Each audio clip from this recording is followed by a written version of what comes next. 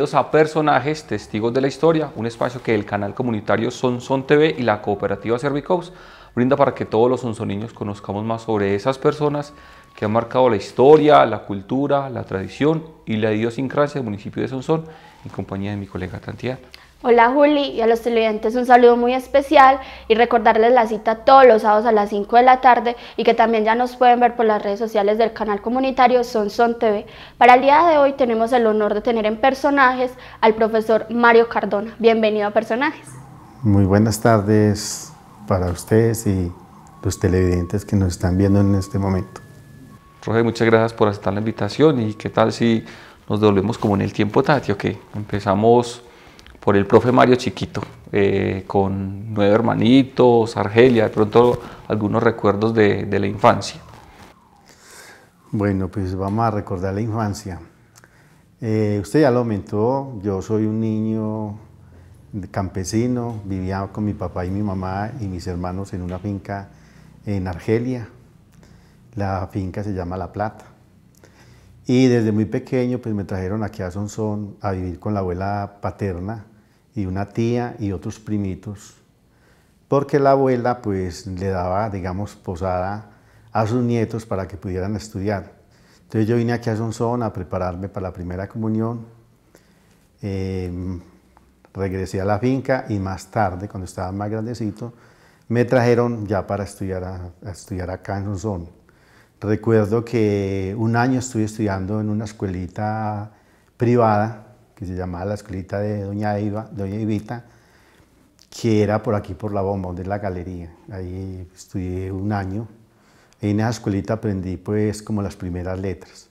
Ya cuando tenía ocho años, que en esa época no recibían los niños antes de los ocho años, entré primero a la escuela Antonio José de Sucre, que quedaba ubicada donde es hoy en día el polideportivo. Ahí estaba la escuela, pues era una escuela para niños nomás porque acá en esa época, en los años 63, 64, por esa época de los años 60, los niños y las niñas estudiaban separados, o sea, no eran escuelas mixtas. Mm, había una escuela para niños y una escuela para niñas, había una escuela de varones, digamos así, que se llama la Antonio de Sucre, y había una escuela para niñas que se llama la escuela John F. Kennedy, y otra escuela que llamaba Joaquín Antonio Uribe. La Joaquín Antonio Uribe queda ubicada donde queda la urbanización, esa urbanización que queda por Calle Caliente para arriba, en esa urbanización, era escuela. Y la escuela John F. Kennedy, pues allá donde está ahora Rosa María Naupavas. Entonces estudiamos, yo estudiaba en la escuela Antonio José de Sucre, entré a primero, me acuerdo que iba de pantalón cortico, a pie limpio, estudiábamos de 8 de la mañana a 11, de la, a 11 y media y de 1 y media a 4 y media todos los días, lunes, martes, miércoles, jueves, viernes, y los sábados estudiamos de 8 a 12 del día. Eh, bueno, esa era pues como la, digamos, salíamos por la tarde, ir a la casa, hacer tareas, porque los maestros nos echaban tareas siempre, de matemáticas y español. Y ya llegaba pues la noche y, bueno, eh, los sábados por la tarde pues iba al catecismo, a la catedral. En el catecismo pues eh, nos enseñaban todo lo que era pues catecismo del Padre Astete, las oraciones, nos daban un ficho. Y al final del año el que tuviera determinados fichos les daban un paseo muy bueno pues los padres. Bueno, y en semana también madrugaba a las 6 de la mañana porque íbamos a la, la cruzada eucarística. Se llamaba la cruzada, era una misa a las 6 de la mañana. Veníamos de la misa, nos arreglábamos y ya a estudiar. Los domingos nos llevaban a misa a las 9 de la mañana. Toda la escuela tenía que ir a misa a las 9 de la mañana. Y si ese día estaban celebrando la fiesta patronal de muchos santos que celebran acá en Sonsón, pues nos tocaba ir a la procesión. O sea, el domingo casi que se iba también en la escuela, actividades de la escuela. Mm. Eh, pues no quedaba, ya uno llegaba después de la procesión, pues a estudiar y a prepararse para el otro día. En esa época pues hacían exámenes orales y recuerdo que había el examen de religión. El padre, un padre de la parroquia iba al salón y la maestra lo sacaba usted adelante le preguntaba del catecismo del Padre Astete delante de todos los padres de familia y los compañeritos. O sea que usted tenía que ser, pues tenía una memoria prodigiosa para aprenderse las 300 o 400 preguntas que traía el Padre Astete. Eh, pero fue una época pues muy bonita, no había, digamos, nosotros que jugábamos, jugábamos la, eh, con, los carros de balineras, jugábamos canicas, jugábamos valero. Bueno, en la escuela, Antonio, pues, en la escuela donde estudiaba, cada 15 días los, los miércoles nos llevaban a jugar toda la tarde a una manga. Casi por lo regular íbamos al valle.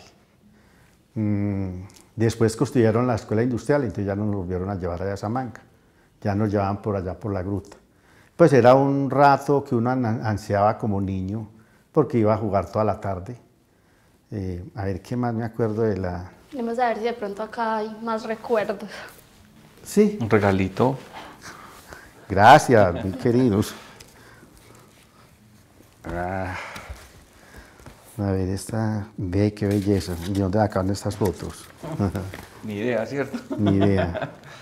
Bueno, esta foto es tomada en la escuela, estaba yo haciendo tercero de primaria en la escuela Enrique Toro Calle, porque por ahí en el año 64, más o menos, 65, aquí se hizo una, la escuela nueva, o para, pues una escuela para niños, que se llama la Escuela Enrique Toro Calle, que fue hecha con fondos de la Alianza para el Progreso.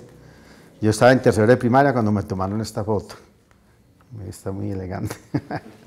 bueno, y esta otra foto, pues sí, no tengo como mucha idea. Esta es mi hermana Virginia, eh, en el colegio cooperativo, en el gimnasio cooperativo. Ella es mi hermana es invidente, desde pequeña pues ella eh, quedó, pues nació cieguita, a los cieguitos les dice invidentes, y estudió en Medellín pues la primaria y la secundaria la hizo aquí en el, eh, en el gimnasio cooperativo. No me recuerdo esta foto si es que yo ya era profesor en el gimnasio, si tiene que ser que yo era profesor ahí. Profe, ¿y en qué momento decide ingresar a estudiar para poder ser normalista? A ver, cuando yo estudiaba en el liceo, yo estudié en el liceo, de, en esa época era primero bachillerato hasta cuarto bachillerato. Hoy en día sería de sexto a noveno. Yo estudié en el liceo, eh, ah bueno, pero entonces, a ver, yo tuve unos maestros muy buenos, pues en primaria tuve, yo recuerdo el maestro de segunda de primaria, que se llamaba don Rubén Darío Pineda. Este señor era muchacho joven, sal, bien, recién salido de la normal, y era un profesor que era muy querido porque, o para mí y para muchos de los niños, porque era un profesor que no nos pegaba. En la escuela Sucre habían maestros que eran expertos en darle pelas, a, pelas, lo cogían a usted con una soga y le daban una pela eh, a los niños, y este profesor nunca nos llegó a pegar. Entonces para mí me pareció como un profesor muy querido y lo recuerdo mucho, toda la vida lo recordé. En, quinto de primaria, que la hice en, cuando eso los niños estudiaban en la preparatoria Emilio Ramos, todos los niños que iban ya en el grado quinto, eh, iban a una escuela especial que en el caso de los hombres se llamaba Preparatoria Emilio Ramos. Allí la metodología era que los niños eh, recibían las diferentes áreas por profesores. Había un profesor para matemática, otro profesor para lenguaje, etcétera, etcétera. Para preparar los niños para cuando llegaran a pasar al bachillerato, como era profesorado, no les fuera a dar tan duro. Entonces, ahí se llamó la preparatoria Emilio Ramos. Esa preparatoria está ubicada donde es hoy en día, mm, digamos, como las casas de Buenos Aires y donde está como una parte de, de un CDI de niños, eh, y enseguida pues del Parque de Buenos Aires. Entonces allá también tuve un maestro muy especial que llamaba Humberto Ochoa. Bueno, en segundo bachillerato la profesora de, de Historia Universal que llamaba doña Miriam Cuervo, ah no, doña Miriam Bustamante de Cuervo, una profesora excelente para geografía. Y en, y en octavo, digamos en ya segundo, tercero de bachillerato, era una señorita llamada Lorenza Correa, muy buena, que era de Historia Universal. Entonces, como que esos maestros me, pues yo quería como ser así de ellos, como eran de pedagogos, de profesionales, de éticos. Yo decía, algún día yo tengo que ser maestro y ser como estos profesores que tengo. Además, por ejemplo, cuando estaba pequeñito, pues eh, cuando jugaba con los, mis hermanos y con, y con los amiguitos de la cuadra y los niños de la cuadra, pues jugábamos a la escuela y yo era el maestro. Digamos que desde ahí nace como esa idea de ser maestro. Y entonces en el liceo pues no era la normal, ¿cierto? pero ese año, cuando yo pasé al décimo, digamos a quinto bachillerato, las hermanas de la presentación eh, abrieron, o ya habían eh, colocado los dos últimos años eh, mixtos. Entonces yo pude ingresar a la normal de aquí de Sonsón, que en este caso era privada, y era el colegio de la presentación.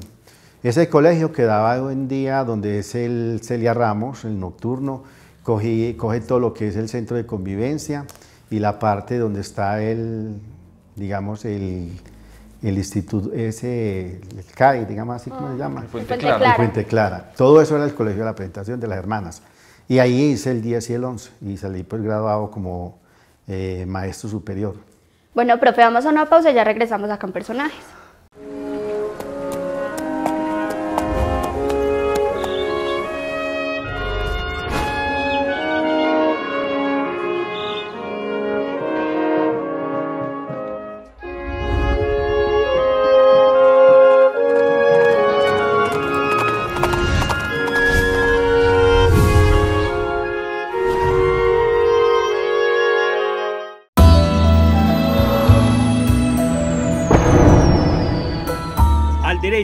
Espacio de carácter informativo y educativo.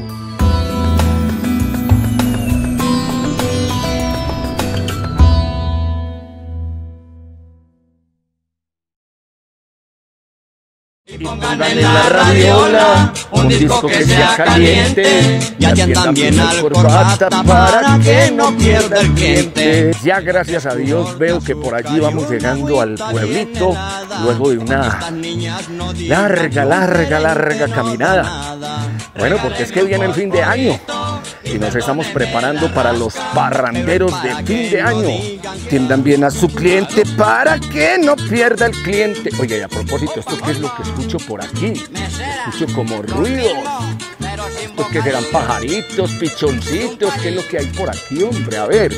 ¡Ah!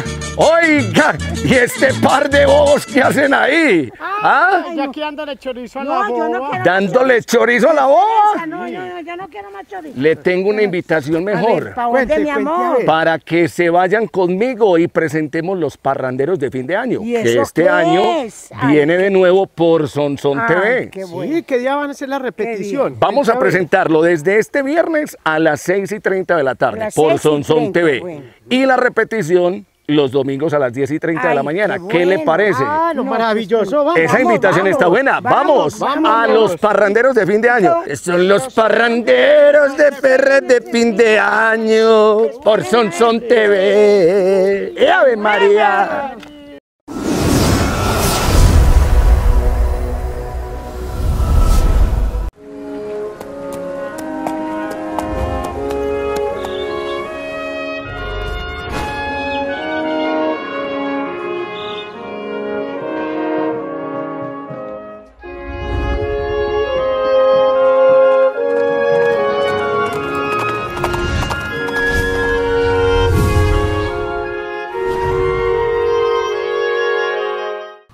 Bueno, continuamos aquí en personajes con el profe Mario Cardona y más regalos, profe. Profe, Muchas cuando gracias. termina el proceso de normalista, eh, viaja a Medellín o cómo, digamos, decide seguir estudiando pues, la licenciatura con la Universidad de Antioquia. Ah, bueno, pues digamos que yo termino pues la, en la normal y ese año, yo terminé en el año 1973.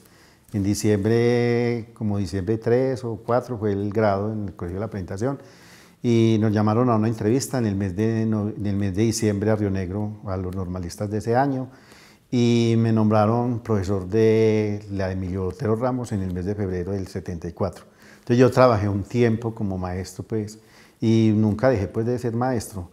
Eh, más tarde yo hago la licenciatura con la Universidad de Antioquia en Ciencias Sociales, Geografía e Historia, pero es a modalidad, digamos, a distancia. Nosotros estudiábamos los sábados, los viernes, los sábados y todos los, mm, digamos, los espacios de, de las vacaciones. Semana Santa, eh, en el mes, eh, digamos, el mes que teníamos de vacaciones en el mes de en junio, en mitad del año, y al final del año, pues la, la mitad de noviembre, todo diciembre y parte de enero. Estudiamos pues, en la Universidad de Antioquia, siempre fue muy largo, más o menos seis años de estudiar esa, si no fueron seis, fueron siete años haciendo esa licenciatura. ¿Mucho paro qué, profe? Eh, no, digamos que no, sí hubo pues paros, hubo paros, pero pues como no se podía coger todas las materias de un semestre, entonces sí se fue haciendo largo pues el proceso de formación. Pero de verdad que fue, digamos, una experiencia bonita porque no nos desvinculamos de la vida laboral, eh, y pudimos salir adelante, pues fue una, una, experiencia y digamos una experiencia para la universidad, porque de ahí en adelante pues la universidad pudo empezar a, hacer ese programa a distancia en toda la región de, de Antioquia. Profe, ¿y por qué estas áreas? ¿Por qué historia? ¿Por qué geografía? A ver, porque digamos, pues tuve dos excelentes profesoras, como les conté, de en Geografía Universal y en Historia Universal. Y en realidad fueron las materias que más bien me iban en el bachillerato. Yo, por ejemplo, en esa época se presentaban exámenes finales y, y a mí me iba muy bien. Es decir, yo en el examen final era capaz de sacar hasta 4.5, 4.8 en un examen final de esa época. Eh, o sea, me pongo a ver eh, las calificaciones de todo el bachillerato y las dos materias donde mejor me iba era en ciencias sociales, geografía e historia. En esa época se veía la, geografía aparte de la historia, o sea, había un, digamos, un espacio pedagógico para la geografía y otro espacio pedagógico para la historia. No es como hoy en día que es integrado, ¿cierto? Sino que eso era separado. digamos que entonces, eh, como eran las dos materias donde tenía más habilidad y me gustaba más, me gustaba mucho ver, em, digamos, leer, eh, ver películas que tengan que ver pues como el paisaje a nivel mundial, etcétera, mirar libros, atlas, etcétera, pues me iba muy bien en eso, entonces por eso decidí ser eh, licenciado en esas materias. Me mostró el regalo, profe. Ah, bueno, lo voy a abrir a ver qué hay aquí. Ah, bueno, aquí encuentro pues el diploma de la Universidad de Antioquia, donde me acreditan pues como licenciado en Educación, Geografía e Historia. Mm, y eso fue por allá en el año 1900... 88, ¿cierto? Está aquí, no sé. Más o menos, yo también estaba poniéndole el ojo y, y no supe. Y no sé, yo como pues está ahí un poco ya ciego, pues entonces digamos que es como por el 88. Y más tarde hice una especialización con la Universidad Católica del Oriente eh, en doctrina y pastoral social con énfasis en derechos humanos. También se hizo como con la modalidad, pero digamos que esta era ya una modalidad más concentrada también estudiamos cada ocho días acá en Sonsón, eh, los viernes, sábados y domingos. Eh, la universidad mandaba pues los profesores aquí y aquí hicimos pues esa especialización muy buena, pues me gustó, porque es como un complemento, digamos, seguir como la formación en ciencias sociales y más que todo en la parte humana, sobre los derechos humanos, sobre trabajar la pastoral social, que hay muchas clases de pastorales y que es un campo hermosísimo en la formación integral de las personas, desde los niños hasta los adultos, porque hay pastoral de la niñez, pastoral de la infancia, pastoral de la juventud, pastoral de la familia y pastoral del, de, digamos, de penitenciaria, o sea, de los reclusos en, la, en, la, en las cárceles o centros de reclusión. O sea, es un campo muy grande. Eh, pues me parece también muy, me pareció muy buena la formación que dio la Universidad Católica en ese aspecto. Y me ha servido mucho porque después de que yo salí de como maestro ya a, ser jubilado, pues me he dedicado más como a la parte social, a trabajar con las comunidades, a trabajar por el, digamos, por los derechos de la naturaleza, por los derechos humanos, por los derechos, digamos, como de las personas más discapacitadas, etc. Profe, ¿por qué esta inclinación por lo social? Pues digamos de que eso nace como desde que, desde eso viene desde la infancia. Mi mamá fue una persona muy trabajadora y muy, digamos, en el campo, con los campesinos, eh, en la acción comunal, eh, trabajando, organizando por ejemplo, caminos, pues ella era una de las impulsadoras de los convites para hacer los caminos. Eh, en la vereda se cayó la escuela, hubo que hacerla, eso fue a punto de empanadas, de bailes, de rifas, o se le decían eh, cantarillas. Mi mamá era una de las organizadoras de eso y siempre ha sido pues como muy líder en esos aspectos y como que de ahí eh, le nace a uno como trabajar por las comunidades, por la sociedad. Otro regalo. Otro regalo. Antes de destapar y contarnos lo que hay, profe, pues eh, ahorita dentro de las fotos, mucho más pequeño, nos hablaba de cuando estuvo pues como con su el cooperativo, que fue como una etapa muy importante, pues tanto a nivel son, lo que significó el cooperativo, pero también como en su vida personal y, profesional como maestro, como qué recuerdos tiene como docente en, el cooperativo y, en la normal y en otros espacios. Bueno, eh, digamos que como docente en el cooperativo fue como la mejor época de, digamos, de ser maestro, es decir, de los 33 años que trabajé siendo maestro o profesor en ejercicio, la mejor época, como la época más dorada de mi trabajo como maestro, fue la experiencia que tuve en el gimnasio cooperativo. Eh, habían excelentes compañeros de trabajo, excelentes rectores, y las alumnas, porque era un colegio netamente femenino, eran unas niñas adoradas, pues de verdad que uno no tenía pues como problemas con nada de disciplina, que fuera gente grosera, era gente muy ordenada, muy colaboradora, porque de verdad que eran muy colaboradores, em, eh, muy, digamos, muy estudiosos, no, no, no, se veía pues como problemas de, de, de, escasez. Los estudiantes o las estudiantes, los padres de familias les proveían pues como todos los lo necesario para su estudio, los libros, los materiales para los trabajos que había que hacer. Es decir, y como eran grupos más bien pequeños, entonces se trabajaba más en familia, uno podía conocer seguir más en la formación de, de, la alumna porque tenía más tiempo de dedicarle a la persona, saber de dónde venía, qué problemas tenía. Y fuera darle pues como una formación académica, también le podía dar una formación en la parte de valores. Era un colegio muy bueno, de verdad que de los mejores colegios que tuvo Sonsón en esa época fue ese colegio. Y o sea, trabajé allá y me hubiera gustado haber terminado allá mis eh, últimos tiempos de, digamos, de trabajo, pero el destino quiso de que teníamos que salir de allí porque nosotros éramos, mmm, eso era una cooperativa, o sea, un colegio privado, pero habían unos maestros pagados por el gobierno que llamaban maestros en comisión. Cuando salió la digamos, la constitución del 91, entonces ya el, al, gobierno le prohibían como ayudarle a esas cooperativas, entonces retiraron las plazas. Y en esas plazas, que éramos ocho maestros, tuvimos que salir de allí y yo fui a dar al liceo. Entonces me tocó trabajar en el liceo también por ahí unos tres años o cuatro, dando ciencias sociales en noveno, diez y once. Y en esa época pues me, da, da, me tocaba dar clases en 10 y en 11 Mm, eh, de la normal, porque allí está el bachillerato pedagógico. Yo da historia de la pedagogía. Entonces, cuando se reestructuró la escuela normal, eh, digamos que del equipo que ayudó a la reestructuración de la escuela normal, pues estaba, estuve yo en ese equipo y por eso terminé, digamos, como la última etapa de mi vida eh, como maestro en la escuela normal superior, presbítero José Gómez de este municipio.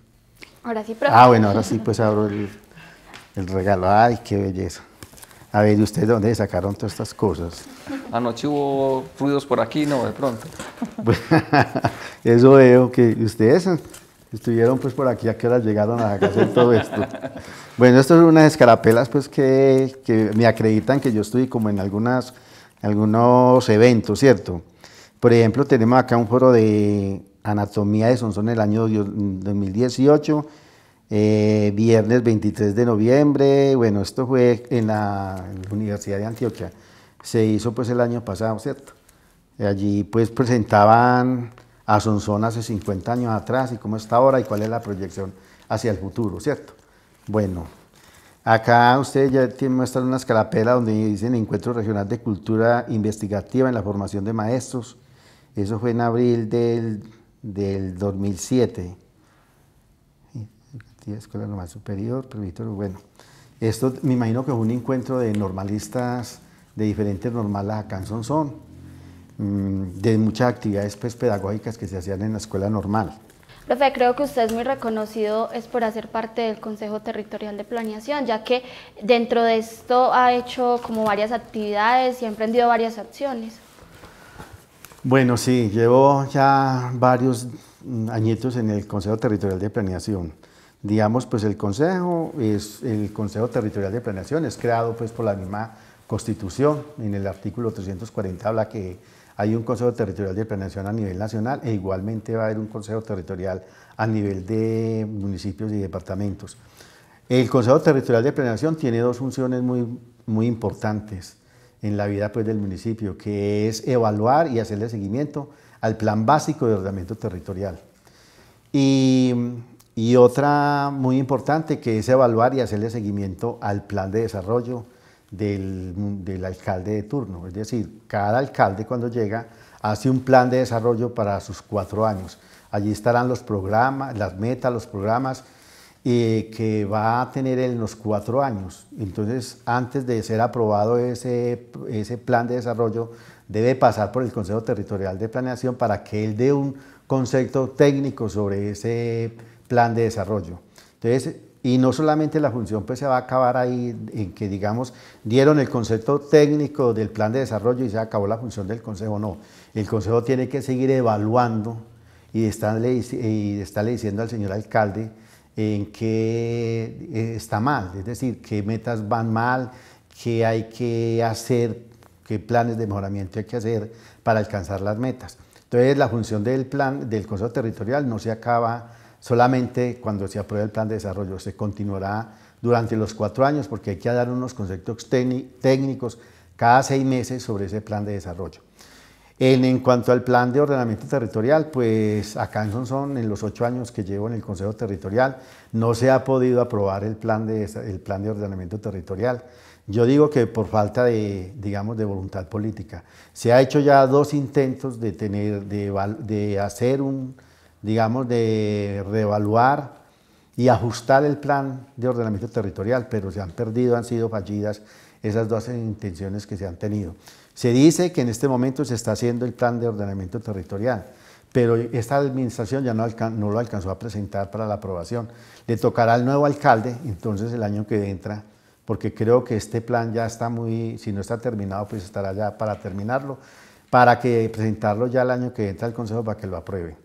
Entonces esa es la esperanza pues de que el nuevo alcalde, mm, que también fue miembro del Consejo Territorial de Planeación, pues sienta la necesidad de que se apruebe, porque en Sonsón hay muchos temas que se deben debatir y es el plan básico de ordenamiento territorial que tiene que definir eh, esos asuntos. Por ejemplo, decir cuál es la zona de expansión de Sonsón, cuál es el perímetro urbano de Sonsón, eh, decir cuál es, eh, digamos, la vocación de Sonsón, eh, cuáles son las zonas de reserva, ¿Qué vamos, a, qué vamos a hacer con el páramo, qué vamos a hacer con la frontera agrícola, qué vamos a hacer con esta cantidad de, de monocultivos que tenemos, como el aguacate, la gulupa, etcétera, etcétera. ¿Qué vamos a hacer con los proyectos hidroeléctricos que tenemos y que están llegando acá a Sonsón? ¿Qué se piensa hacer, por ejemplo, con las, eh, las licencias que están pidiendo para eh, minas acá en esta parte caucana. Es decir, eh, todo eso son cosas que tiene que definir el plan básico de ordenamiento territorial. También tenemos que definir en Sonsón cuál es la zona industrial, cuál es la zona netamente residencial, cuál es la zona mixta que tiene Sonsón, cuál es el plan vial que tiene Sonsón. Todas esas cosas hay que hablarlas y definirlas en el plan básico de ordenamiento territorial. Esos son temas que tendrán que eh, debatirlos, pero no solamente el, equipo técnico, eso lo tiene que debatir también con la comunidad, porque es el pueblo el que tiene el conocimiento y hay que oír al pueblo. Entonces tenemos que eh, escucharlos y que esto sea concertado con las comunidades, porque no podemos imponer un plan básico de ordenamiento territorial a la fuerza, porque eso no, quedaría bien y podría ser demandable. Bueno, profe, muchas gracias por hacer parte de personajes y contarnos todas esas facetas de su vida.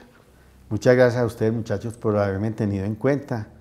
Eh, de verdad que sí tenía un poquito de susto para esta entrevista, pero veo que no era tan difícil. Espero pues de que esto que les cuento, pues sirva para algo. En todo caso, pues muchas gracias. A usted muchas gracias.